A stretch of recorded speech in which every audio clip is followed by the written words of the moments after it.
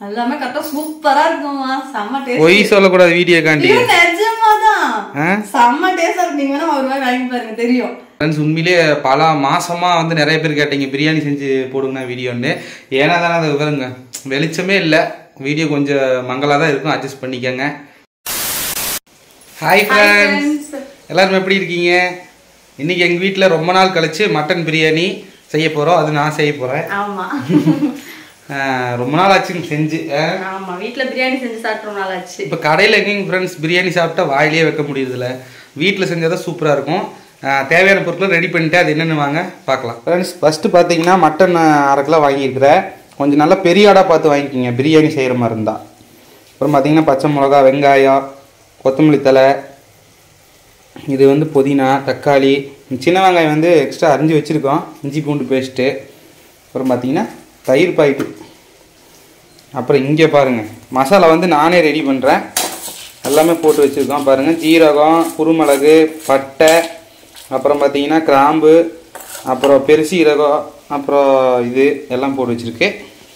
இங்கே என்னென்னு பார்த்தீங்கன்னா கிரேவி ரெடி ஆகிட்டுருக்கு குழம்புக்கு கிரேவி இதில் இருக்கிற எலும்பு அதுலேயே கொஞ்சம் எலும்பு மட்டும் எடுத்து வெங்காயம் மிளகாய் மட்டும் போட்டு பார்த்தீங்கன்னா கரம் மசாலா போட்டு நல்லா சுருளை வணக்கியாச்சு. இதில் பார்த்தீங்கன்னா இப்போ தண்ணி ஊற்றிக்கலாம் ஒரு சொம்பு தண்ணி ஊற்றிருங்க இதில் நல்லா கொதிச்சு இதான ஒரு கிரேவி மாதிரி ஆச்சுங்கன்னா நம்ம பிரியாணிக்கு சால்னா தயார். அப்புறம் பாருங்க ஃப்ரெண்ட்ஸ் நிறைய பேர் சீரக சம்பா அரிசியில் பிரியாணி பிரியாணின்னு சொல்லுவாங்க. இன்னைக்கு தான் சீரக சம்பா அரிசி. அது நம்ம போய் கடையில் கேட்டு இப்போ தான் கண்ணில் பார்க்குறோம் பச்சரிசி மாதிரி இருக்கு. ஊற வைக்கணுமான்னு கேட்டால் இதில் ஊற வைக்க தேவையில்லை. ஒரு பத்து நிமிஷம் அலாசி அப்படியே போட்டுக்கலாம்னு சொல்லியிருக்காங்க. இதில் தான் இன்னைக்கு பிரியாணி செய்ய போகிறோம் எப்படி இருக்குன்னு வாங்க பார்க்கலாம். ஃப்ரெண்ட்ஸ் பாருங்க வீட்லேயே இருக்கிற பொருளை வச்சு அழகா நம்ம பிரியாணி மசாலா ரெடி பண்ணிட்டோம். இந்த மசாலா தான் டேஸ்ட் தரப்போகுது. ஆமா. இப்போ நம்ம வந்து குக்கரை பற்ற வச்சுட்டு. குக்கர் பத்த வைக்கல அடுப்பை பத்த வச்சு குக்கரை பத்த வச்சிருக்கிறோம் ஃப்ரெண்ட்ஸ் குக்கரில் தான் செய்ய போகிறேன் ஒரு நாள் ஒரு பெரிய போசியில் செஞ்சு உங்களுக்கு ஒரு வீடியோ எடுக்கலாம்னு பார்த்தா அது இப்போ வரைக்கும் எங்களால் முடியல. ஆமா. ஃபஸ்ட்டு குக்கரை பற்ற வச்சுட்டு நீங்கள் என்ன பண்ணுறீங்க கடல் எண்ணெய் ஊற்றிக்கோங்க செக்கில் ஆட்டில் எண்ணெய். ஃப்ரெண்ட்ஸ் நாங்கள் வந்து எப்பவுமே எண்ணெய் அதிகம் யூஸ் பண்ணுவோம். உங்களுக்கு அளவாக யூஸ் பண்ணணும்னா அளவாக லிமிட்டாக யூஸ் பண்ணிக்கோங்க. பாதி பாதி நெய் கடலெண்ணெய் உங்களுக்கு நெய் பா இதுவும் கடலெண்ணெயும் பாதி பாதி நீங்கள் இது பண்ணிக்கோங்க. நாங்கள் வந்து எல்லாமே ஜாஸ்தி இதில் ஊற்றுறது ஸ்பூன் எடுத்து தான் போனேன். போகுது அப்படியே ஊற்றிட்டு அவ்வளோதான். ஃப்ரெண்ட்ஸ் பார்த்தீங்கன்னா கடல் எண்ணெயுமே நெய்யும் சூடாயிருச்சு. இதில் பார்த்தீங்கன்னா மூணு ஏலக்காய் பட்டை கிராம்பு ரெண்டு இப்போ ஒரு பிரிஞ்சி இலை.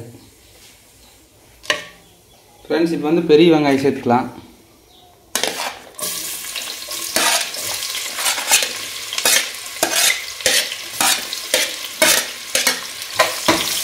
ஃப்ரெண்ட்ஸ் மெயினாக வந்து பார்த்தீங்கன்னா உங்களுக்கு இந்த வெங்காயம் நல்லா வதங்கணும் ஃப்ரெண்ட்ஸ் ஓரளவுக்கு ஆயிடுச்சு. இன்னுமே நல்லா வணக்கலாம். பார்த்தீங்கன்னா இதெல்லாம் போடுறதுக்குள்ளே ஒன்றுமே இல்லாமல் போயிடுறதுனால பச்சை மிளகா போட்டுக்கலாம்.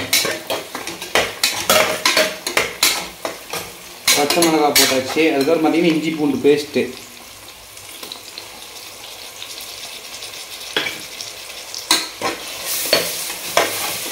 இஞ்சி பூண்டு பேஸ்ட்டு நல்லா வாசம் போடுற வரைக்கும் நல்லா வணக்கலாம் பாருங்க இருந்த இடமே தெரியல நல்லா இதாகிடுச்சு கரைஞ்சிருச்சு. கலர் தான் மாறல.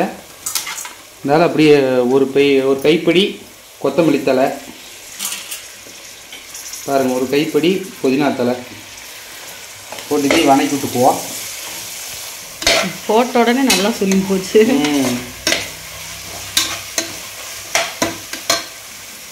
அப்படியே தக்காளி கொட்டிக்கும் ஃப்ரெண்ட்ஸ் ஒரு தக்காளி.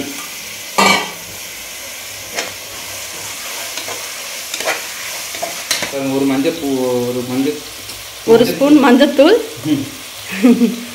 மஞ்சப்பூ மஞ்சப்பூன்னு வருது ஒரு ஸ்பூன் மஞ்சத்தூள். அப்புறம் பார்த்தீங்கன்னா நம்ம அரைச்சி வச்சுருக்கிறோம் பார்த்தீங்களா? பிரியாணி மசாலா. அதை நம்ம கொட்டிக்கலாம்.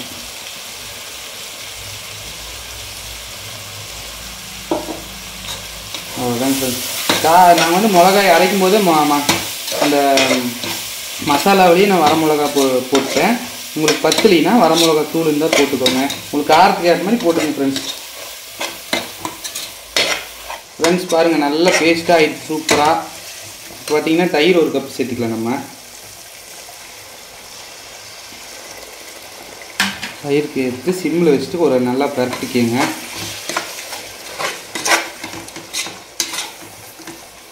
இப்போ நல்லா நம்ம சுத்தமாக கழுவி வச்சுக்கிற மட்டன் துண்டுகளை போட்டுக்கலாம்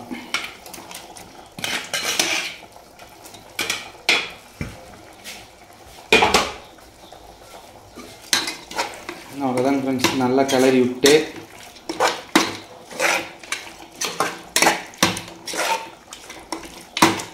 பார்க்கவே நல்லா கலர்ஃபுல்லாக பயங்கரமாக இருக்குது. நல்லா இருக்குதா? ம். இப்போ உப்பு உங்களுக்கே தெரியும் நான் குத்து மதிப்பாக தான் போடுவேன். உங்களுக்கு தேவையான உப்பு நீங்கள் சேர்த்துக்குங்க. நான் வந்து இப்போதைக்கு வேகறதுக்கு ஒரு ரெண்டு ஸ்பூன் போட்டுக்கிறேன். போட்டு நல்லா கிளறி விட்டு பார்த்தீங்கன்னா ஃப்ரெஷ் சீரக சம்பா அரிசி கரெக்டாக ஒன்றரை கப் ஊற வச்சுருக்கேன். இதுக்கு வந்து நம்ம வேகறதுக்கு மூணு கப் தண்ணி ஊற்றணும் அதனால் இப்போ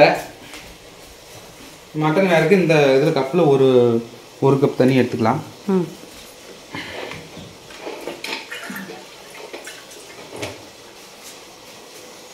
ஃப்ரெண்ட்ஸ் வேறக்காக ஒரு கப் தண்ணி உள்ள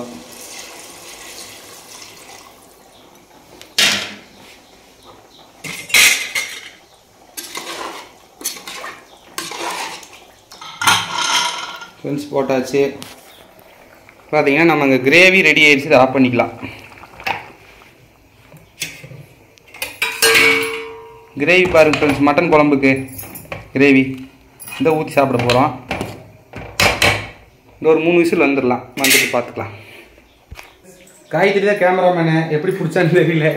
கொஞ்சம் அட்ஜஸ்ட் பண்ணிக்கோங்க. இப்போ இந்த வீடியோ எப்படி இருக்குன்னு சொல்லுங்கள் இது ரெடி ஆனதுக்கப்புறம் பார்க்கலாம். அரிசி போடுறப்ப பார்க்கலாம். ஃப்ரெண்ட்ஸ் காய்கறி ஓப்பன் பண்ண ஆமா. பிரியாணி எனக்கு விட காய்கறி தான் ரொம்ப பிடிக்கும். ஆமா அது எங்க மாமா செய்யற பிரியாணி நான் ரொம்ப ரொம்ப பிடிக்கும். ஒரு காலத்தில் நானும் ரொம்ப சாப்பிட்டேன். ஆனால் இப்போ எப்படி இருக்குது? அம்மா மனமா செம்மையா இருக்குதுமா பார்க்கவே. இங்கே ஒரு தட்டத்தில் போட்டு சாப்பிட்டு ஃப்ரெண்ட்ஸ் ஜிலை பவுடர் ஜிலை பவுடர் போட்டிருந்தா கொஞ்சம் கலராக இருந்திருக்கும். நான் எதுவுமே அந்த பவுடர் இதெல்லாம் எதுவும் போடல. நீங்களே பார்த்துருப்பீங்க. கொஞ்சம் ஆறட்டும். ம் ஆறிடுச்சா மாமா. ம் ஒரு ரூபா சாப்பிட்டு பாரு எப்படி உப்பு இதெல்லாம் கரெக்டாக